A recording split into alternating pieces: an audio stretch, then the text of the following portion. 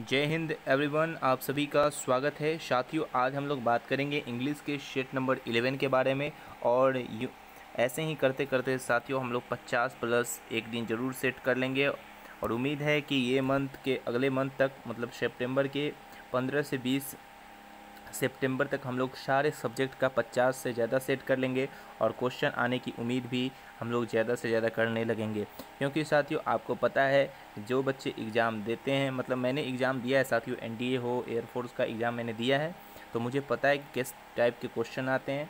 तो इसीलिए मैं कहता हूँ आप लोगों से कि आप जहाँ भी पढ़ते हो भाई, प्लीज़ उस लेवल का क्वेश्चन बनाओ।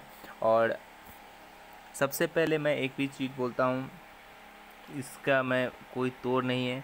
अगर आप ये भी बना के साथियों चले जाते हो, अगर सही सही आपके पास कंसेप्ट के साथ ये है तो पी वाई क्यू है तो शायद आप एग्ज़ाम में इतना अच्छा कर जाओगे जिसकी आपको भी कल्पना नहीं होगी। प्लीज़ पी वाई क्यू हर चैप्टर का बनाइए। मैथ हो तो मैथ का बनाइए। Physics chemistry biology history geography आज मेरा एक हिस्ट्री का वीडियो आएगा। उसमें मैं एक ऐसा क्वेश्चन बताऊँगा अनगिनत ऐसे क्वेश्चन बताऊँगा जो आपको रिपीट आ रहे हैं।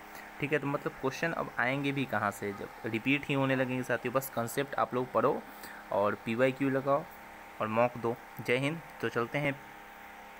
पहला क्वेश्चन हाँ अगर नए हैं तो चैनल को सब्सक्राइब कर लीजिए लाइक कर दीजिए कमेंट में जय हिंद ज़रूर लिखिए।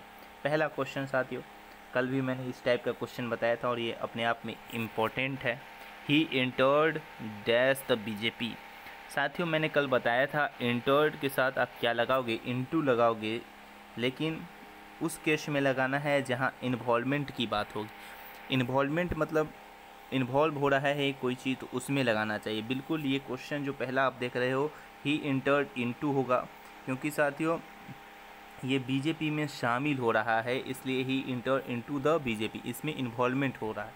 दूसरा क्वेश्चन साथियों he enter dash the BJP office साथियों, ये इन्वॉल्वमेंट नहीं है, ये शामिल होना नहीं है, ये तो बीजेपी ऑफ़िस में जा रहा है तो इसके साथ कोई प्रीपोजिशन नहीं लगाएँगे। याद रहे इंटर्ड के साथ तभी प्रीपोजिशन लगेगा जहाँ इन्वॉल्वमेंट की केस होगी। ठीक है? और इंटर्ड के साथ प्रीपोजिशन बिल्कुल मत लगाना कभी भी, लेकिन सिर्फ़ इन्वॉल्वमेंट के केस में आप लगा सकते हो, वो भी too okay question number third है the police will investigate dash this matter साथियों, आपको पता है इन्वेस्टिगेट के साथ कोई भी प्रीपोजिशन आता ही नहीं। इम्पोर्टेंट है, बहुत इंपॉर्टेंट क्वेश्चन साथियों, मैं लाता हूँ आप लोगों के लिए डेली और ख़ुद लिखता हूँ साथियों। अभी हमारे पास वो साधन नहीं है, जो औरों के पास है तो धीरे धीरे करके हम लोग वो भी इकट्ठा करेंगे एक ना एक दिन। और आपका प्यार, आपको सपोर्ट मिलता रहे तो अच्छे से और क्लासेस आएगी और अच्छे तरीके से लिखा हुआ आएगा तो और मज़ा आएगा। लेकिन अभी जैसे आ रहा है, सिर्फ़ आप कंटेंट पर ध्यान दो साथियों। कैसे, कहाँ, कैसे लिखा हुआ है, इस पर भरोसा ना करें। सिर्फ़ आप कंटेंट पर ध्यान दें कि कैसे कंटेंट मिल रहे हैं आपको। तो इन्वेस्टिगेट के साथ साथ ही कोई प्रिपोजिशन नहीं होता है। Question number four he deals dash diamond आपको पता है डील्स के दो क्वेश्चन आते हैं एकदम एग्ज़ाम में। डील्स के साथ इन लगाना तब, जब बात करते हैं हम ट्रेड की, सामान की, और डील विथ होता है पर्सन के साथ। ठीक है डील विथ पर्सन होता है साथियों। और डील इन ट्रेड होता है। मतलब यहाँ पर he deals dash diamond diamond की बात आएगी तो डायमंड तो साथ ही एक समान है, इसलिए डील इन लगेगा, ओके? तो क्वेश्चन नंबर फाइव भी बहुत इंपॉर्टेंट है। द जज कांट डील डैश कल्प्रीट देखो यहाँ कल्प्रीट क्या है साथियों? एक आदमी है तो डील विथ होगा, ठीक है? मैं हर एक कंसेप्ट पर क्वेश्चन लाता हूँ, ताकि आप लोग बाद में ये ना कहो कि ये सिर्फ़ बता दिया, इसके क्वेश्चन नहीं लाया। क्वेश्चन नंबर सिक्स, साथियों I will discuss dash this topic साथियों, मैं आपको बताता हूँ, मैं डेली वन शॉट रिवीजन कराता हूँ तो इसका मैंने अच्छे से रिवीजन भी कराऊँगा। साथियों डिस्कस के साथ कोई प्रीपोजिशन आता ही नहीं है, ये भी लिख लो। बहुत इंपॉर्टेंट है डिस्कस डिस्क्राइब और एक्सप्लेन ठीक है, इसके साथ कोई प्रीपोजिशन नहीं आता। जैसे हम लोग बोल देते हैं ना I will discuss about this topic बिल्कुल नहीं आता प्रीपोजिशन ये भी इंपॉर्टेंट है अपने आप में। Explain about this topic describe about ये सब बोलते हैं, बिल्कुल नहीं होता है, ठीक है? अबाउट नहीं यूज़ होता है। क्वेश्चन नंबर सेवन है dash working hard he failed ये ऑप्शन था वहाँ पर इंस्पाइट दूसरा ऑप्शन था इंस्पाइट ऑफ़ तीसरा था डिस्पाइट और चौथा था डिस्पाइट ऑफ़ मतलब डिस्पाइट ऑफ़ था और नन था, ठीक है? डिस्पाइट नहीं था डिस्पाइट ऑफ़ था।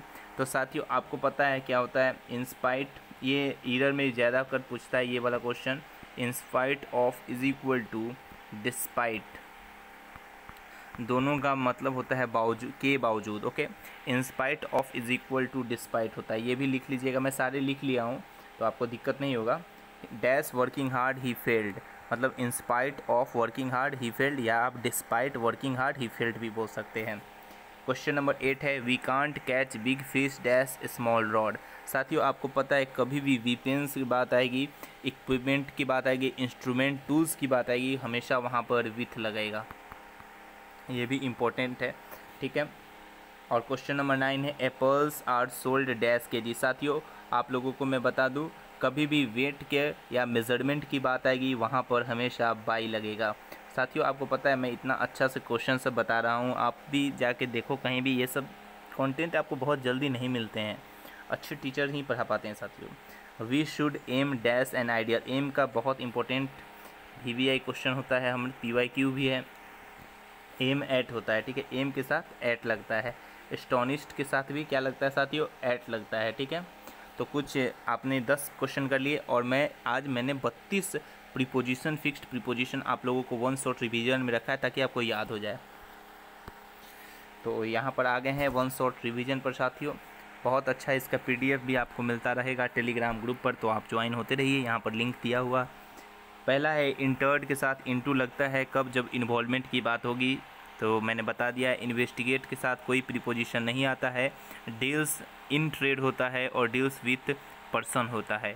डिस्कस डिस्क्राइब और एक्सप्लेन के साथ अबाउट तो हम लोग यूज़ करते हैं, लेकिन अबाउट यूज़ आता ही नहीं है प्रीपोजिशन ओके उसके बाद in spite of is equal to despite मतलब इंस्पाइट ऑफ़ होता है और डिस्पाइट ऑफ़ नहीं होता, सिर्फ़ डिस्पाइट होता है। इसका मतलब होता है के बावजूद। वीपेंस इक्विपमेंट इंस्ट्रूमेंट टूल्स के साथ हमेशा क्या यूज़ करोगे? विथ का यूज़ करोगे। ठीक है? उसके बाद बात करते हैं वेट एंड मेज़रमेंट के साथ आप यूज़ बाई करोगे। उसके बाद बात करें वेट एंड मेज़रमेंट के साथ बाई करना है। एम के साथ एट बता दिया है। अकाउंटेबल फॉर होता है साथियों ड्रॉप टू होता है पैशन फॉर होता है रिलाई ऑन होता है। मैंने ये पिछले भी कराया था। वंडरफुल के साथ बहुत इंपॉर्टेंट है अबाउट होता है, ठीक है? स्टोनिस्ट के साथ भी एट होता है अप्लाई फॉर होता है। अप्लाई के साथ साथियों क्या होता है? फॉर का यूज़ होता है। आस्क फॉर होता है वेट फॉर होता है एपोलॉजी फॉर होता है। फॉर लिखा हुआ है साथियों F O R for protect हुआ रिकवर हुआ या सफ़र हुआ, इसके साथ फ्रॉम का यूज़ किया जाता है। Protect from recover from suffer from eligible के साथ फॉर का यूज़ होता है। फ़ीड के साथ ऑन ये आपका एनडीए का पास्ट ईयर क्वेश्चन है साथियों।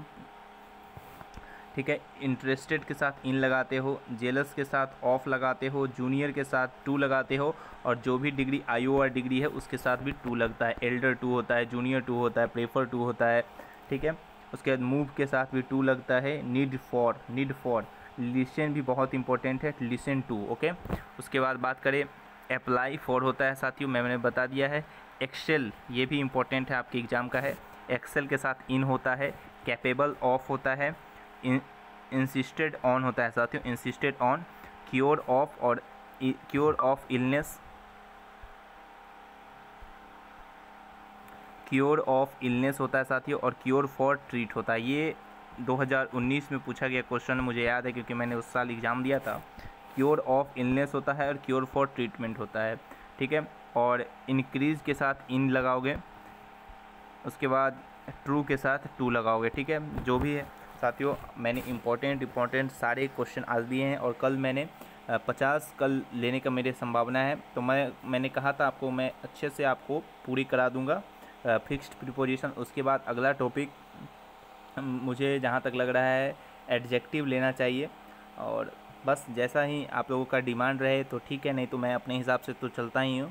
तो जय हिंद, जय भारत, वंदे मातरम। अगर अच्छा लगे तभी लाइक शेयर और कमेंट में जय हिंद ज़रूर लिखिएगा। जय हिंद, जय भारत, वंदे मातरम। इसका आप स्क्रीनशॉट भी ले सकते हैं साथियों अपने सहूलियत के लिए।